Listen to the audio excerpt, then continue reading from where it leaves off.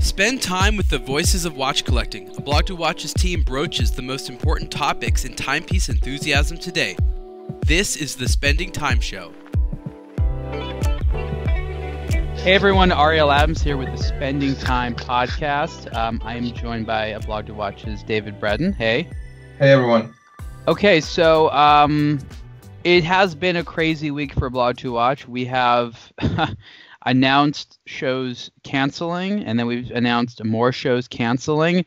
And just at the end of everything, we thought we weren't going to Switzerland for like an entire year. Out of the blue, um, we get a couple of emails on the same day from a few brands that are going to formally yet informally show uh, in Geneva on April 26th to the 29th. So they're calling it Geneva Watch Days. Mm-hmm. And we're going to actually talk about that in another episode a little bit. But one of the things that they said in there, which is quite interesting, is joined by a few brands. Actually, let me see exactly how did they say it.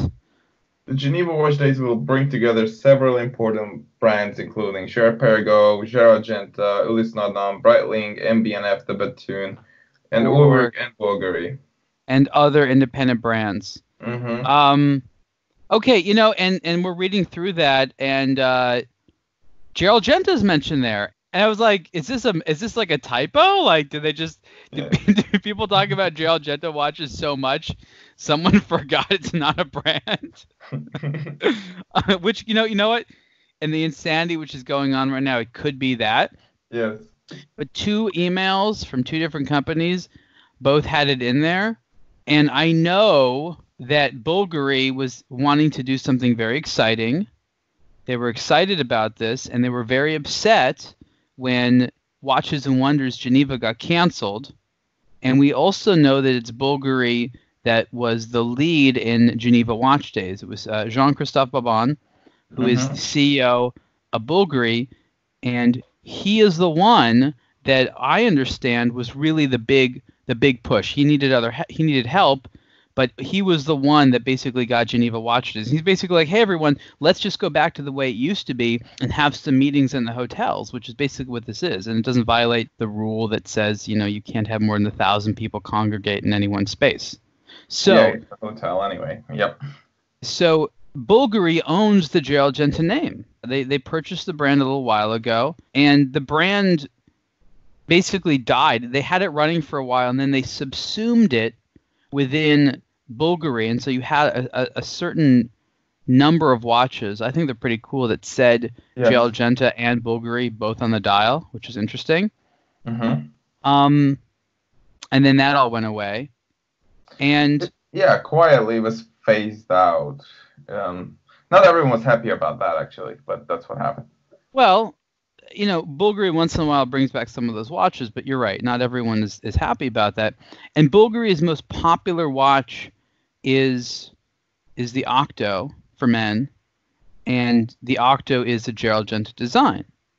So that leaves the question: Is Bulgari and its you know parent company LVMH going to launch a Gerald-Genta brand?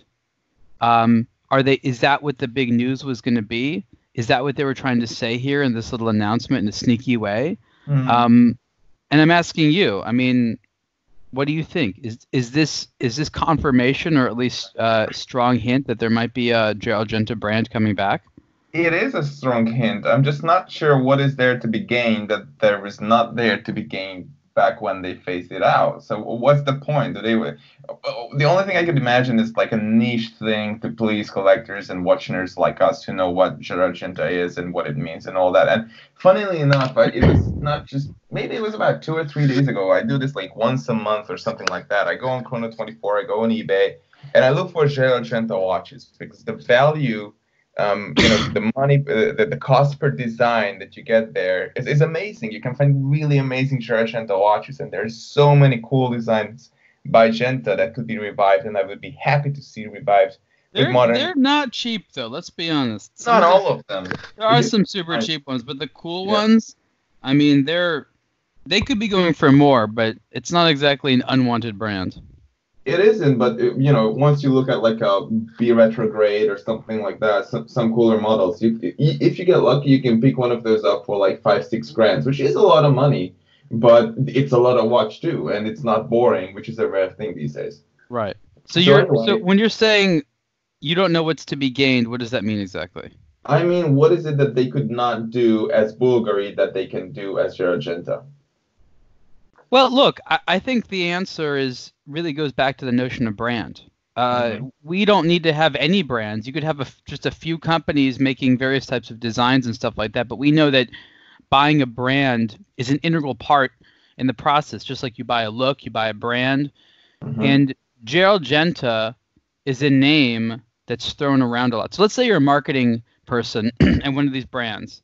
You're like, you know, people keep mentioning Gerald Genta all the time.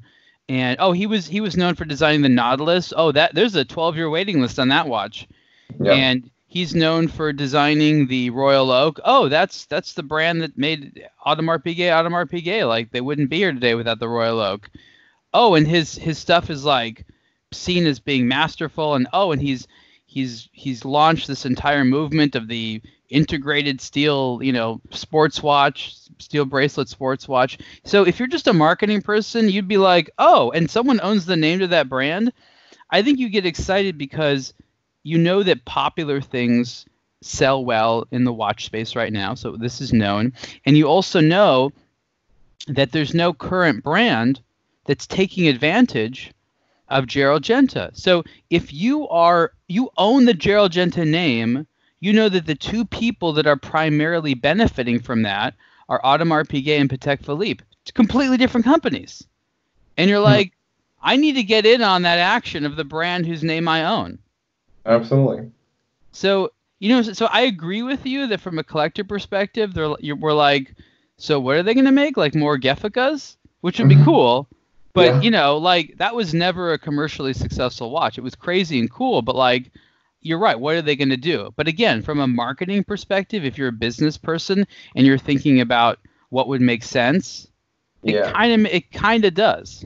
The retro sport, you know, I think the retro line, it, it, that's what it was called actually. Uh, you know, in uh, you know uh, Genta's terms, and also the arena. Those are the two versions that I would love to see return. Um, they already have a bunch of like dressy options, and maybe they will reach back. Don't forget the Disney ones, the best yeah. Disney watches ever, ever, ever made. And what you what you said about owning the brand, Bulgari paid thirty seven point something million Swiss francs in two thousand for Gerald Genta and Daniel Roth. So once you that's I mean, a lot of money. That's, that's their champagne budget, though, you know. And well, it is, but they, they, they actually have um, Genta right along with the with the champagnes in stock, but they are not really doing anything with it. So I, I can see why they reach back. But I just it's just a good thing to ponder what is it that they want to do with it. And uh, so, what do you think? Is it dressy or is it sporty that they're going to bring back? Well, I mean, look, it's going to be a steel watch with a bracelet. I don't think that they're going to bring back what wasn't popular from him. Mm. They're gonna go straight for the like predictable, you know, three hand. They're gonna take what intellectual property they have. You know, they're gonna do what the collector wants. Yep. They're not gonna they're not gonna make this too intellectual. They're not gonna make it too risque. They're not going to say like, "Oh, these are the lost Gerald Genta designs that no one's made before." N- no, maybe later. Yeah. They're going to go to something that they feel is a hit right now. My and, money's on the arena. Actually, I think that, that that that is that is where it's at, but I could be wrong. I, I have no idea. Look, we could be speculating in the sense that this might just be like a sub brand of Bulgari. You know, look at look, look at Ferdinand Berthoud from Chopard. Um, that's an ultra high end thing. Bulgari has never done that well in selling very high end watches, even though they've made some exceptionally interesting, crazy, complicated watches. Bulgari has some fantastic ones. And in addition to, you know, the Gerald Genta name, um, the Daniel Roth, right? They also own Daniel Roth. So yes. Bulgari has the ability to make wildly complicated tourbillons, automatons, minute repeaters, wild stuff that nobody seems to want. And this mm-hmm. is a common problem so maybe Gerald Genta is the brand that they create for all the ma- massively high complications, and then Bulgari is where you have the octos and the you know the mostly under twenty thousand dollar watches. Right. That's an, that's another thing that they might do because again, it's it's sort of an uphill battle when you're known for being like department store like cosmetics, also selling, you know, a a five hundred thousand dollar you know very elaborate elaborate Sonnerie watch. I mean, yeah, Bulgari already has the auto luxury part, uh, you know, section, and some of their actually a lot of those designs are indeed Argenta based. Oh yeah, the, the the arena, you know, um, is still produced in whatever form it is now by Bulgari. Yes, that's true, but only in, in, in ultra high end form like Sonneries and, and, and crazy stuff like that. Yeah, but I'm just saying, can you see how LVMH and Bulgari might want to segment off its super high complication stuff into a brand that is quote unquote known by enthusiasts for that? Sure, that would make sense. I agree. From a marketing standpoint, it could work. I mean, look, they could screw it up a bunch of ways. Um, now, here's a question: What do you think Audemars Piguet and Patek Philippe would want from a Gerald Genta brand? Like, they rely very heavily on a positive perception of this person's legacy. Wouldn't and it be hilarious if, if Bulgari launched a Gerard Genta Nautilus? I think that's not precisely what Patek would want. Like, hey guys, you're seeing that there's a strong market for this, so here it is for like 15 grand and all steel Nautilus that says Gerard Genta on the dial. Oh my Look- god, that would be out of control.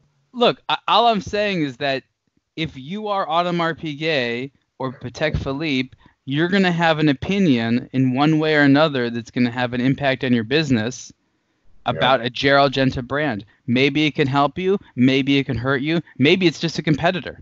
Look, yeah, it, it, I think it's it's the last one. I, I really don't think that Bulgari will will dig deep in into Argenta archives and find the quirkiest, weirdest, you know, least appealing designs that Genta did, of which there were a few. Let's be fair. I, but the point of, of doing that, no, they're going to cherry pick the best ones if they are to do this, and in that way, you know, if that is to happen, I don't think uh, AP and um, Patek would mind, especially if they stay out of that price range, which is you know the Royal Oak and the Nautilus price range.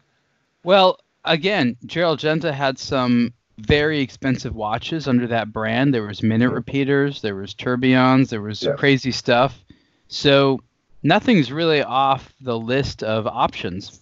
I think the more challenging play, even though it p- could potentially be more commercially successful, is to introduce a new competitor to the existing Gerald Genta watches out there, right? So if the new Gerald Genta brand comes in with a Royal Oak Nautilus competitor, that would be really something. Yes, absolutely. We'll we'll we'll have to see. I think that that's you know we, we could we could ponder on this for for ages, but we, we'll see this soon enough. Late April is the time for it. Yeah, late April of 2020, uh, around the 24th, 25th, 26th, or something like that. Yes. We believe that there's going to be um, some interesting news from Bulgari, and that interesting news might be the introduction of something related to Gerald Genta. They have announced that a Gerald Genta brand is going to be at Geneva Watch Days, April 26th, 29th. Multiple companies have said this. Is it a typo and just a mistake because this was all rushed? Yeah, maybe. But maybe it Let's hope isn't. Yeah. So, new Gerald Genta watches or initiatives or even an entire new brand might be coming. We have no idea what the watches are going to be, um, but we'll look forward to seeing what that is very soon. Um, and you'll definitely see coverage of it on a blog to watch. Thanks. That's right. See you there. Bye, everyone.